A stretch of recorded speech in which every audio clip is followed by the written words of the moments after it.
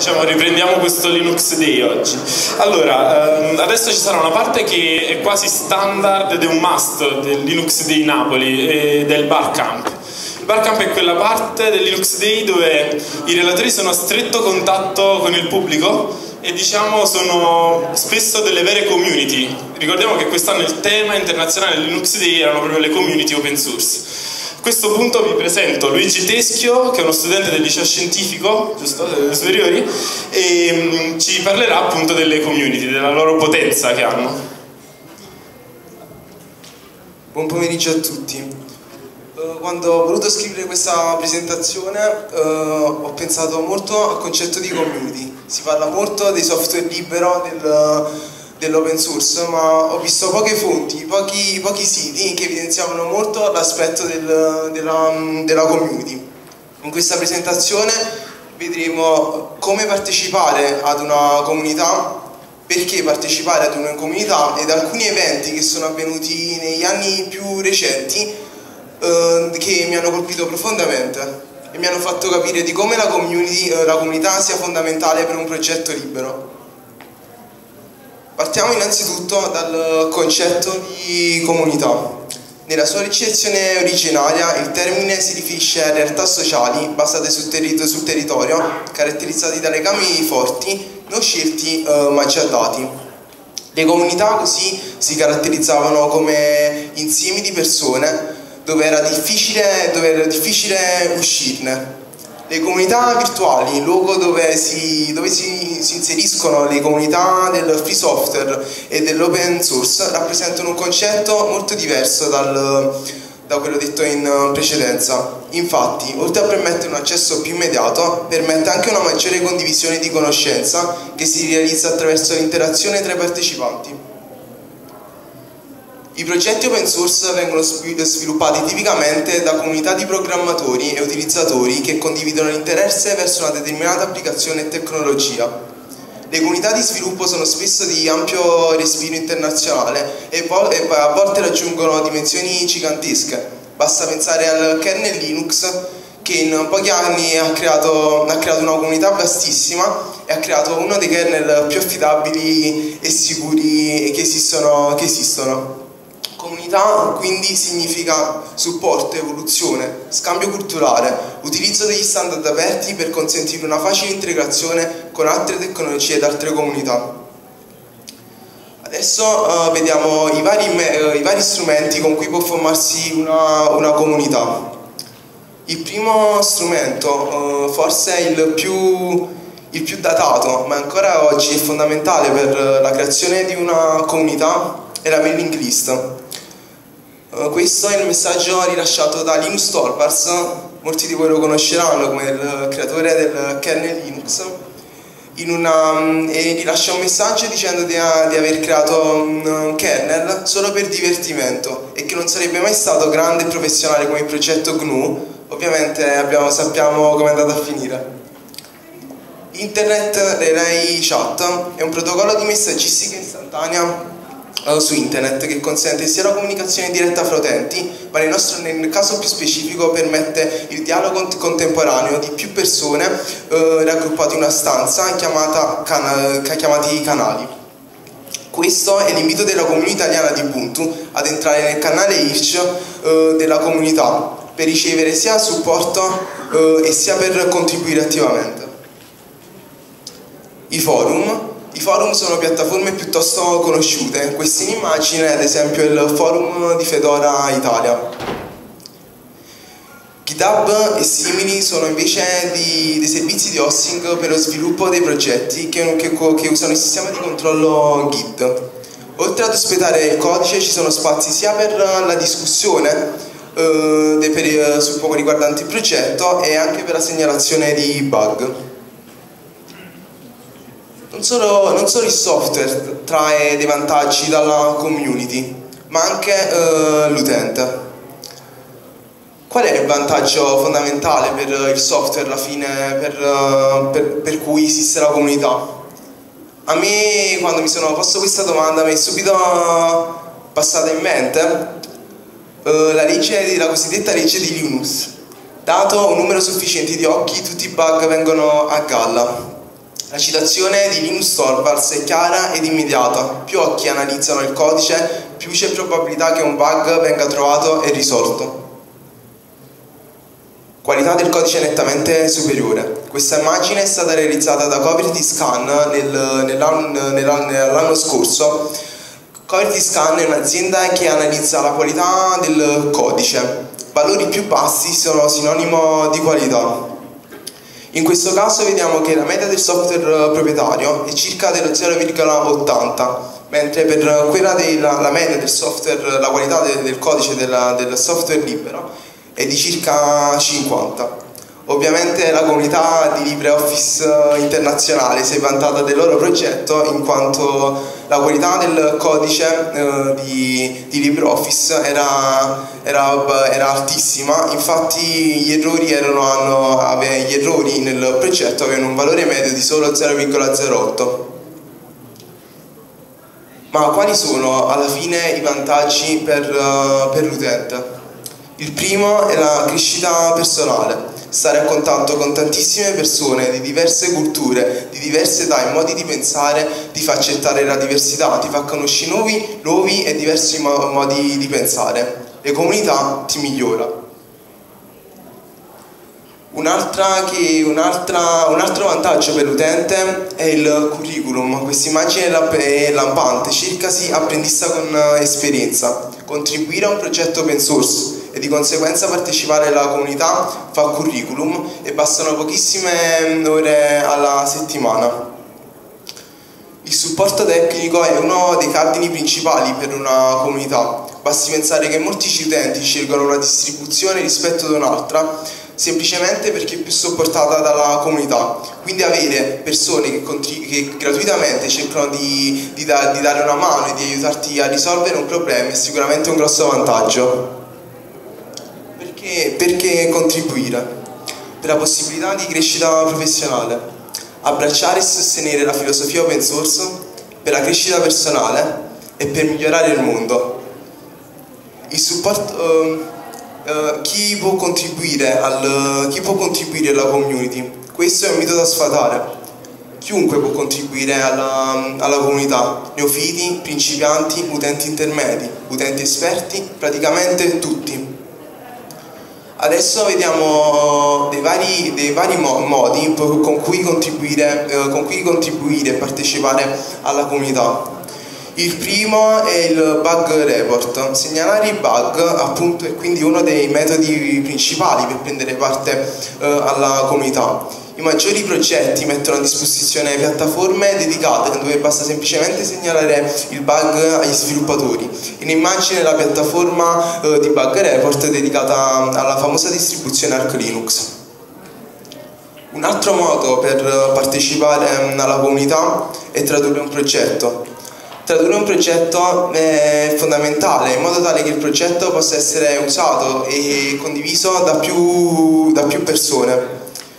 Anche questo non, richiede conoscenze tecniche informatiche, ma semplicemente la conoscenza della lingua, perché anche in questo caso gli sviluppatori mettono a disposizione una piattaforma dedicata dove basta semplicemente tradurre il testo che appare in display. In immagine l'invito della, della Gnome Foundation a partecipare al loro team di, di traduzione. Lavorare sul codice è forse l'unico punto che richiede una conoscenza uh, prettamente informatica. Uh, questo è il grafico che ho preso dal progetto di GitHub e indica quante persone hanno contribuito al progetto Linux dal settembre del 2001 fino all'agosto all del 2015.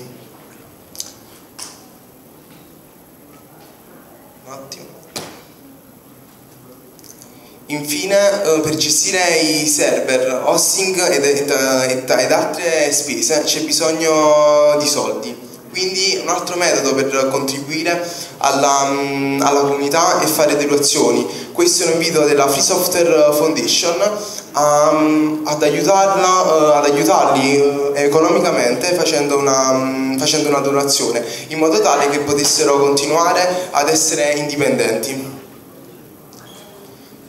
Un altro metodo è la promozione, più persone, eh, se voi pubblicizzate il vostro progetto open source preferito, più persone potranno utilizzarlo, più persone conosceranno quel progetto e di conseguenza più persone eh, potranno, potenzialmente potranno far parte della comunità. Questa è un, un video musicale eh, rilasciato su YouTube da Novel eh, ed è una canzone dedicata a Linux. E infine eh, dare supporto agli utenti è, è l'ultimo aspetto con cui un utente può contribuire mh, mm, alla comunità. In immagine il progetto di Ask Fedora che è una piattaforma simile agli Answer però dedica sem dedicata semplicemente a Fedora. Adesso vi illustrerò dei, mm, degli eventi che mi hanno, di, mi hanno fatto capire quanto la comunità sia importante e di come riesce quindi a, a superare uh, grandi, grandi, aziende.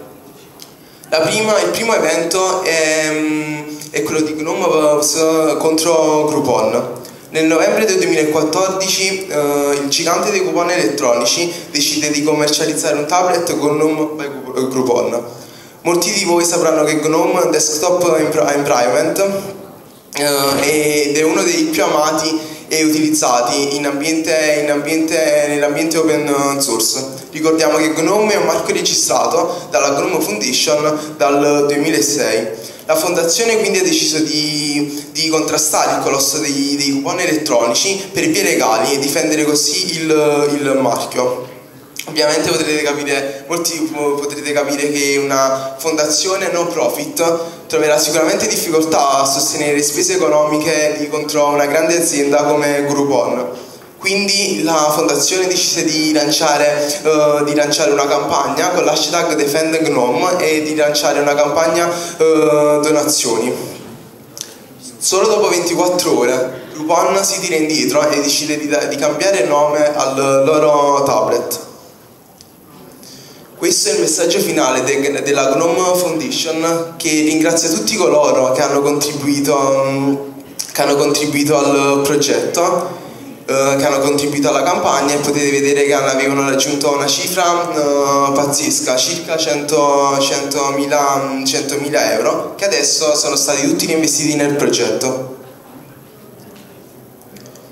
Popcorn Time è un altro progetto che mi ha colpito particolarmente. Popcorn Time è un cliente BitTorrent open source per lo streaming eh, dei video. Diciamo che si basa su, su, sulla rete torrent e permette lo streaming uh, dei film. Questo progetto fu realizzato da, da, quattro ragazzi di Buenos Aires che però si videro, videro che uh, la videro che l'organizzazione americana dei produttori cinematografici decisero di, dare, di stoppare il progetto passando per vie locali. Fortunatamente il codice sorgente, viene, il codice sorgente era libero, era caricato su GitHub e ha permesso ad altri sviluppatori di terze parti di portare avanti il progetto originario e che ancora, che ancora oggi viene uh, utilizzato e sviluppato. Questo è il messaggio finale dei quattro ragazzi da sottolineare soprattutto la parte finale dove loro dicono che la, la loro applicazione era stata tradotta in 32 lingue eh, e, non avevano, e, non avevano, capito nemmeno 32 lingue di molte delle quali non conoscevano la, nemmeno l'esistenza. Loro adesso sono riusciti a capire quanto la comunità eh, open source possa fare e sia, sia importante Quest'ultimo è un esempio un po' particolare ma che mi, mi, sta sempre a cuore in quanto un hacker chiamato Salvatore Iaconesi ha scoperto di avere un tumore al um, cervello. Non soddisfatto dalle risposte ottenute e dal modo con cui era stato trattato, decide di creare un sito web chiamato La Cura. Salvatore invita artisti, design e hacker a partecipare a, a tutti i tipi di artisti a interessarsi alla sua malattia eh, diciamo che grazie, gra anche grazie all'aiuto della comunità adesso Salvatore Iaconesi è guarito. Adesso vi elencherò mm, dei, degli errori da evitare per entrare in una comunità perché a volte capita che un utente un po' mm, un principiante insista su alcuni concetti e non capisce che comunità, nella comunità non c'è solo, solo lui La comunità non è un'azienda e non va trattata come tale. La comunità non è gentile né grigia e non firma accordi di collaborazione e di distribuzione. La comunità sfrutta l'intelligenza condivisa per cui è inutile sbandierare di essere competenti. La comunità dà solitamente più di, che, uh, più di quello che riceve poiché ci si approccia nel modo corretto. Questo è un dato di fatto, stando con tantissime persone di diversi modi di pensare, è normale che si impari, si impari sempre qualcosa. Ma quali sono i consigli utili per contribuire attivamente ad una comunità? Essere umili perché si troverà sempre qualcuno da cui imparare essere eh, pazienti perché le decisioni vanno prese sempre sulla base del consenso, essere autonomi perché non c'è uh, un capo che ci dice cosa fare. Forse questo è uno degli aspetti più belli della comunità. Siamo tutti degli appassionati uh, che cerchiamo insieme con le nostre capacità di migliorare un software open source. Non abbiamo nessun capo, nessuno che ci dice di cosa fare. Siete liberi di, di contribuire in qualunque modo volete. Adesso ho deciso di fare delle piccole osservazioni finali. Entrare in una comunità open source? La più importante, la più importante idea dietro la filosofia del, del free software è imparare. Le persone forniscono i loro codici per permettere ad altre persone di imparare. Stessa cosa per esperienza, basti pensare soprattutto a questo talk. In questo talk ho voluto condividere la mia esperienza, la mia idea di, di comunità, sia con chi è nuovo sia con chi è veterano perché voglio avere un feedback, un feedback, dagli altri e vedere dove ho potuto, dove ho potuto sbagliare e se ho, ho messo alcuni punti. Quindi bisogna partecipare attivamente ad una community per divertirsi indipendentemente dall'età e per la voglia di per divertirsi eh, per, sia indipendentemente dall'età sia per la voglia di imparare ma anche appunto per divertirsi quanto è importante la comunità? la comunità è fondamentale per, per un progetto open source la chiave per il successo di una tecnologia o di un software appunto è la comunità infine vi voglio lasciare con una frase che, che ci, ci mi, ha, mi, ha, colpito dalla, dalla prima volta che l'ho vista, mi ha colpito profondamente. Mi ha fatto capire di come scambiarsi le idee sia un modo per creare un mondo, per creare un mondo migliore. Vi, auguro, vi ringrazio per l'attenzione, vi auguro un buon Linux Day e vi vorrei solo dire che Linux Day 2015 è una delle tendenze di Twitter, quindi la comunità anche oggi ha vinto. Se ci sono domande...